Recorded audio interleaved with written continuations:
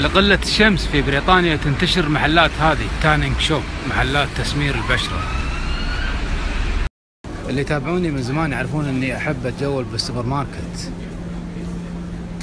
في كل سفرة وكل بلد أزوره. طبعا تكلمنا عن اقتصادية الحياة شلون اقتصادية وشلون الناس تبحث عن التوفير. شوفوا الخيار بالحبة يبيعونه. كل حبة مغلفة بروحها. وبقية الأمور الفلفل البارد حبتين ثلاث. طماط ست حبات وأنواع وأشكال طماط. الثوم ثلاث حبات البصل نوعا ما رخيص. نسبيا طبعا. البطاط لو تلاحظون أنواع كثيرة جدا وهذا بسوبر ماركت واحد يعني أكيد في أنواع أكثر. وسبب هذا التنوع إن هم عندهم البطاط يعتبر وجبة رئيسية في أوروبا أو من الأمور الأساسية في الأكل. مثل العيش أو الرز عندنا في دول الخليج. فهم عندهم البطاط والقمح. كذلك التفاح أنواع كثيرة لأنه منتشر جدا وزراعته سهلة في أوروبا. أنواع لا تعد ولا تحصى من التفاح. هذا التفاح مكتوب عليه كوكينج ابلز ما أدري شنو يعني. هل هو للطبخ ولا إيش سالفته؟ ما أدري. عنه طبعا آه هذا سوبر ماركت كبير. وفيه تنوع كثير طبعا. ورخيص يعتبر يعني بالنسبة للبقالات والمحلات اللي برا يعتبر هذا رخيص جدا. لأن من النادر جدا تلقى بالمدن سوبر ماركت كبير مساحته كبيرة. هذا طبعا بسبب ارتفاع أسعار الإيجارات. فالسوبر ماركت يلا يحصل له مساحة صغيرة وأجارها عالي. الطماط بعد أنواع وأشكال ومو رخيص. لكن ودك تصور معاه. بسبب نمط الحياة السريع الناس تفضل هذا النوع من الأكل اللي هو جاهز طبعا هذا للغداء. أكثر يكون وجبة اللي يعتبر وجبة غير رئيسية لأن الوجبة الرئيسية عندهم عشاء بسبب تواجدهم وقت الغداء في مقر عملهم. أما العشاء فهم يفضلون الأكل نص جاهز يعني اللي هو جاهز للطبخ ما يحتاج أي مجهود. تفتحه وتطبخه. لأن ما عندهم وقت لإعداد الطعام وبنفس الوقت ما يبون يأكلون مطاعم لأن المطاعم تعتبر أغلى طبعا من هذا الأكل نص جاهز.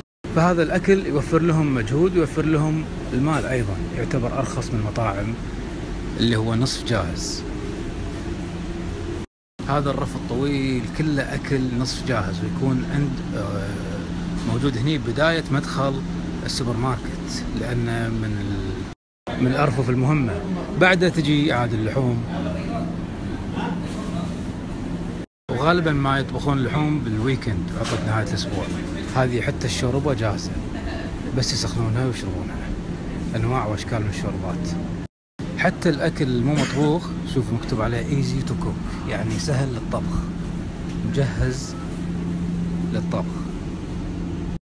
شوفوا هذا الخضروات داخل مع اللحم. ومتبل جاهز للطبخ. يأتي بعد اللحوم النية. طبعا هم مقطعة وجاهزة لكن نية غير مطبوخة وتحتاج طبخ كامل. ورف اللحوم النية أصغر من رف الأطعمة شبه الجاهزة اللي مرينا عليها قبل شوي. هذا الدجاج ضخم جدا. شوفوا إيدي إيش كبرها. يلا تغطي الفخذ.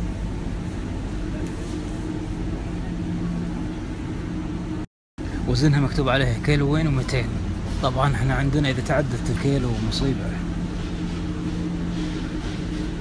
رف الأجبان نسبيا صغير مقارنة ببقية دول أوروبا لأن بريطانيا مو ذاك الزود يعني تنتج أجبان مثل فرنسا وهولندا حتى هذه الأجبان ماركات فرنسية. فرنسا فيها أكثر من 400 نوع من الأجبان فرنسا بروحها. الحليب الطازج نسبيا رخيص.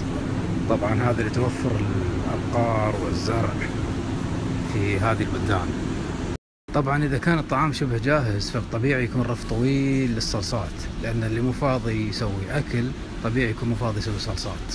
وهذا العيش أو الرز أكبر تشيس كيلوين إحنا عطي الله خياش 40 و 50 كيلو يا الله الحمد العيش أو الرز هذا حجمه في كل مكان.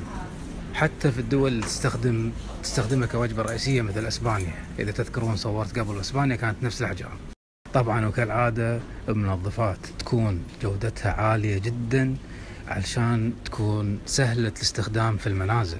لأن بيوتهم ما فيها خدم فيضطر صاحب البيت نفسه هو ينظف فيحتاج شيء سهل الاستخدام وجودة عالية علشان يوفر له الجهد والوقت.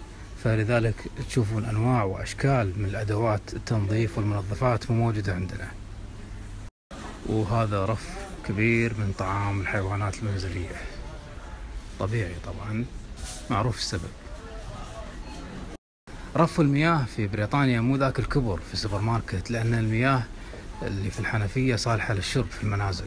ولو تلاحظون الكلينكس هذا نادر ما يستخدم في أوروبا السبب إن شوفوا هذا علبتين كلينكس بأربعة باوند يعني بدينارين. إحنا عندنا الدينارين تشتري فيهم عشرين إلى خمسة وعشرين علبة كلينكس. هذا رف كلينكس فقط. بالمقابل شوفوا ورق تواليت إيش كبر الرف ماله؟ هذا طبيعي لأن هذا أكثر شيء يستخدمونه. في بعض الأدوية تنباع في السوبر ماركت وهذا سمحوا فيه بالكويت مؤخرا بس قبل سنوات ما كان هذا مسموح. هذا الركن كله للخمور اللي يعيشون عشانها وينتظرون نهاية الأسبوع عشان يسكرون. واللي ما يقدرون يقامونه هو دعوتهم لكأس من الخمر. شوفوا هذا العامل اللي يرتب. أظنه مسلم. وشوفوا شلون المسلمين مضطرين يقدمون تنازلات في دينهم عشان يشتغلون في هذه الدول فهو يرتب الخمر وهو مسلم. طبعا كالعادة تحاسب self cashier.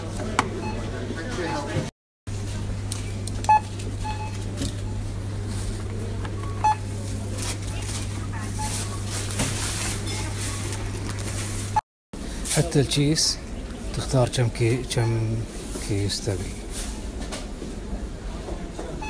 لأن الكياس بفلوس. لذلك تشوفون بعض الناس يجيبون كياس معاهم اللي عنده عضوية بالسوبر ماركت هذا يقدر يشرب قهوة مجانا أو شاي. شوفوا هالطابور كله واقفين عشان يحصلون على قهوة مجانية.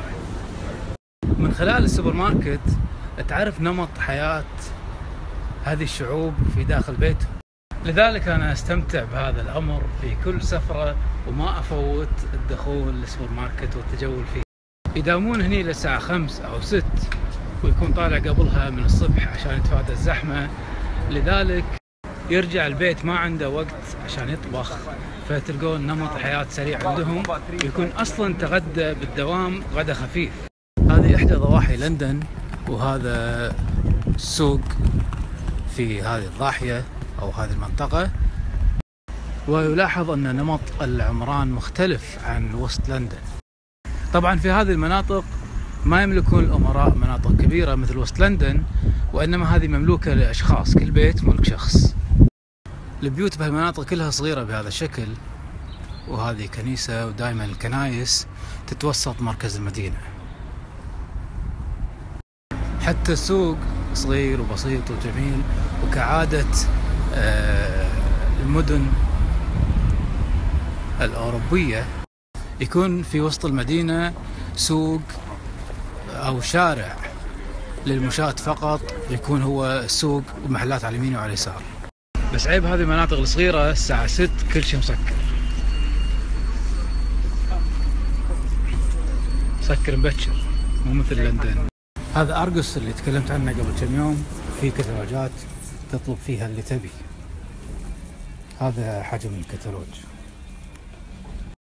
تختار الصنف اللي تبيه. كتالوج ضخم جدا. وتسجل الرقم وتروح هناك تطلبه ويبونه لك. تقدر تدفع الكترونيا بعد هني أو تقدر تدفع هناك وتستلم الجهة هذه. فكرته أنه مخزن ويعطيك بسعر اقتصادي. بما أن اليوم عن السوبر ماركت نكملها بالسوبر ماركت العربي. ونطمن اللي رايح لندن نقول له لا تحاتي كل شيء موجود. العرب مو مخلين لك شيء تحتاجه. كل الاحتياجات موجودة تحصلها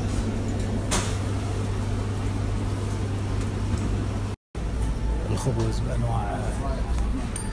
والصمون والفطاير والمأكولات واللحم. هذه الأجبان البيضاء اللحوم الحلال. والدجاج.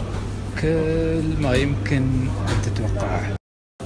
التمور والمكسرات والقهوة وعدة القهوة التركية وكل شيء.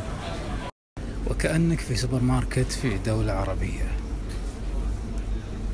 لاحظوا اختلاف طريقة العرض. كل السلع العربية. والعيوش ب 20 كيلو مو بكيلوين. مو مخلين شيء لحظة.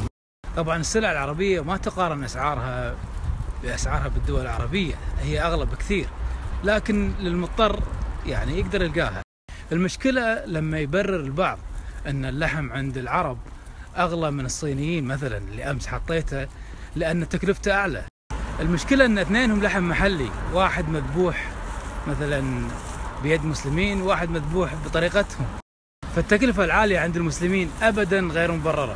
نفس اللحم ونفس البلد ونفس كل شيء. فأبدا ما له مبرر أن تنباع سندويشة بخمسة باوند. مطعم عربي بقيمة بوفيه كامل مطعم صيني. أو تكون قيمة طبق عيش مع لحم 15 باوند أبدا مو مبرر عند المطاعم العربية